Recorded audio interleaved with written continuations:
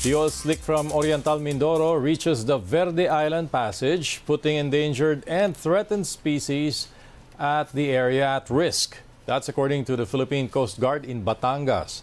This puts the number of affected families to nearly 21,000.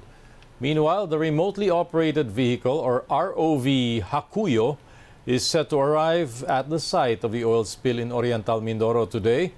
The machine is coming from Japan and was hired by the owner of the motor tanker MT Princess Empress, which sank off Mindoro. It's supposed to help look for the tanker, which is estimated to be 400 meters below sea level near the town of Pola.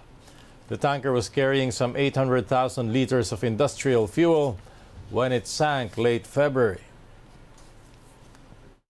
Uh, this, this will finally uh, have a clearer look at the exact location.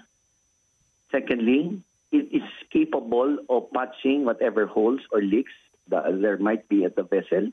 It can plug the source of oil or it can siphon whatever oil is available inside the tanker.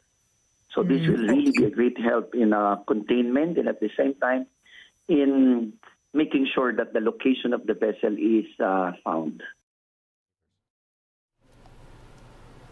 The worsening oil spill has now affected 19,000 fisher folk. That's according to the Philippine Fisheries and Aquatic Resources Bureau. But the agency assured fishermen measures are in place to help them weather the environmental disaster.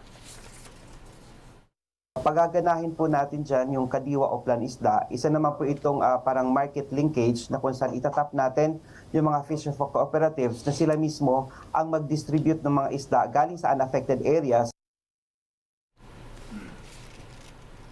The oil spill in Oriental Mindoro starting to take a toll on the tourism industry of Puerto Galera.